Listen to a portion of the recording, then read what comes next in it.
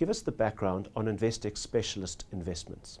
Investec Specialist Investments was incorporated in January 2016. I think the focus for us is to be the alternative investment manager of the Investec Group. What we're really trying to do is focus on what we believe the competitive advantages are that the bank has. So where can the bank deliver successful opportunities? And those are historically in the origination space, structuring, trading.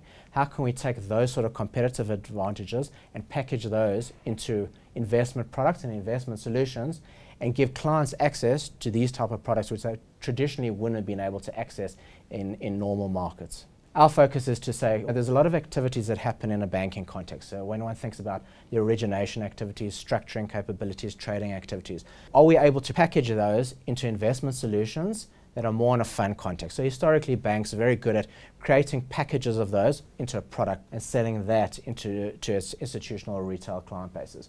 So we looked at that value proposition and said, you know, some of those activities, can we bring it into, into the construct of an open-ended format? And I think it was an opportunistic time with hedge funds being legislated. So we set out the business. We've now expanded the team quite dramatically. I mean, I think the, the focus of what we try and do is everything is a team. So the team has expanded. We're now um, currently seven people directly responsible for the business. I think the benefits that you get of being in a large organization, though, is that all the infrastructure, all the operations, all the governance, you have something that you can leverage off. And I think all of that has obviously come through in terms of the business that we have.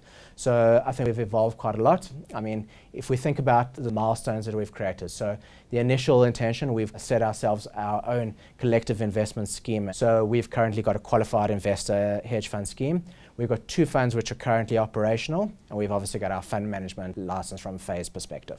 So a lot of the time in the initial year and a bit was in terms of setting up the business, getting incorporated, getting the approval on the licenses, making sure it was operational, getting all the policies and all the governance in place, and obviously trying to look at how we can manage the funds from an operational perspective. The important thing for us is we, we believe that there are certain competitive advantages of that one sits in a bank. And I think sitting in an environment like this, you know, when we, when we look at the Investec brand, I think it gives us a great competitive advantage when we do go out there because it's something that we can do products also quite different and fairly unique. They're not traditional in the sense of, of, normal hedge funds.